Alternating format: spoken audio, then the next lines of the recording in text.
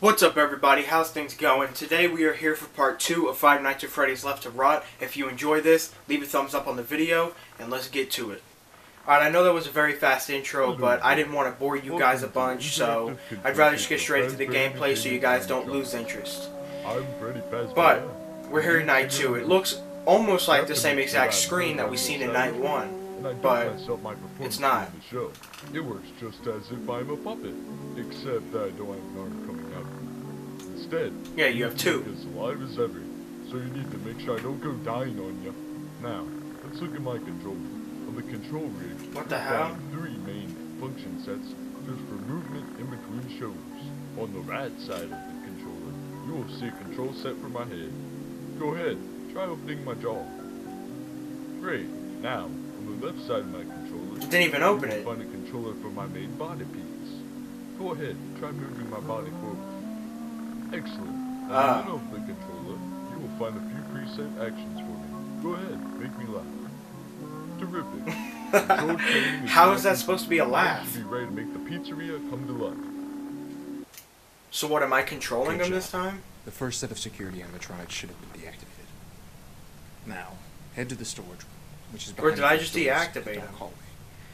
Click to There's continue. some items that we have seen within that facility from the pictures taken, so hopefully they just happen to still be there.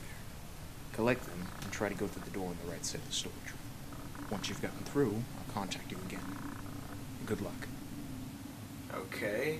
I don't need your good luck, because I'm a Five Nights at Freddy's pro. I've been doing this forever. The fuck? The keypad? I'm just gonna go through here, right?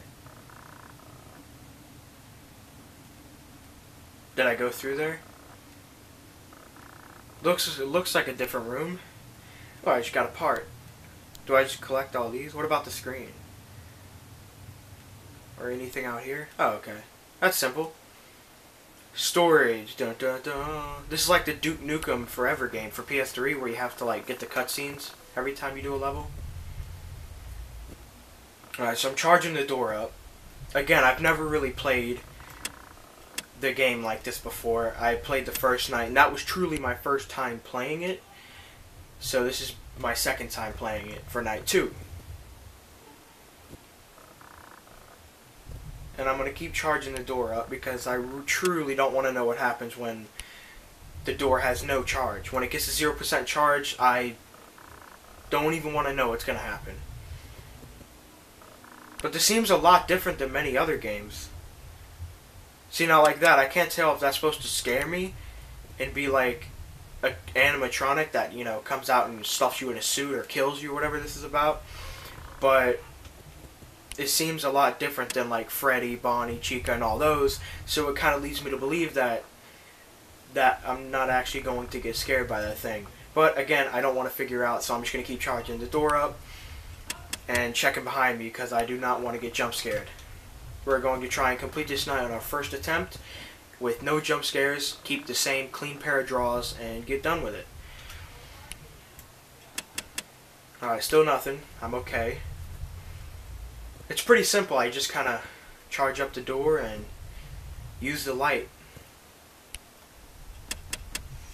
Yeah, like that keeps happening, but like that doesn't really scare me.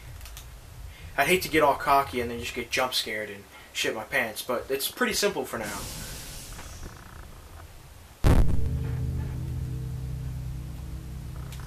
Is that it? Room complete? Seems simple enough. Is there more to it? Welcome to the arcade room maintenance training tape. This tape, we will be going over how to test and set arcade machine. Okay. Seems simple.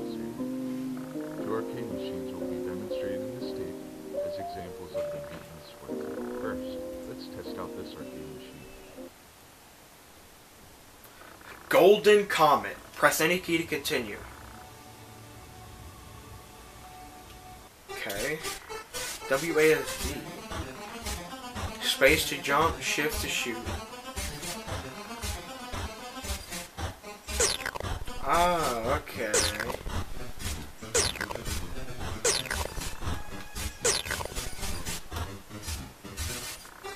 This is like one of those like spaceship games where you shoot at the stars coming by or whatever. Or no, you shoot at other ships coming by with like a laser. Instead, I'm shooting pizzas. I'm just gonna keep shooting pizzas forever.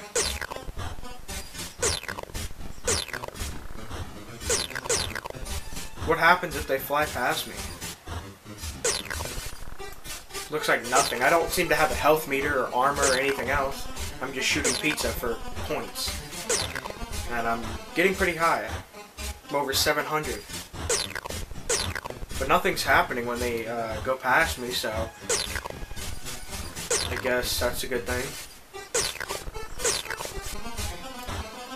I'm like looking at everything. I hate to get, you know, scared at a pizza game.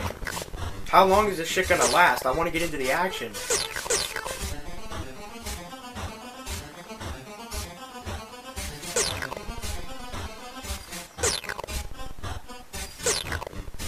Alright, I've been shooting pizzas for quite a while now. Can you fuck off already?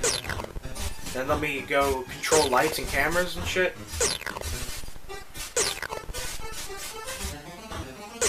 Am I doing something wrong? Like, is there an is there like an objective that I'm not completing correctly?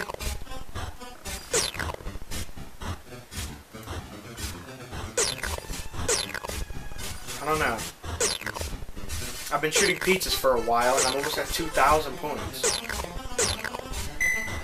Winner! 1975. Like Been shooting pizza since 1975. We'll test out a game of questionable quality. Questionable quality. Sneaky guy. Oh, this ain't gonna be good. I'm just gonna keep moving around.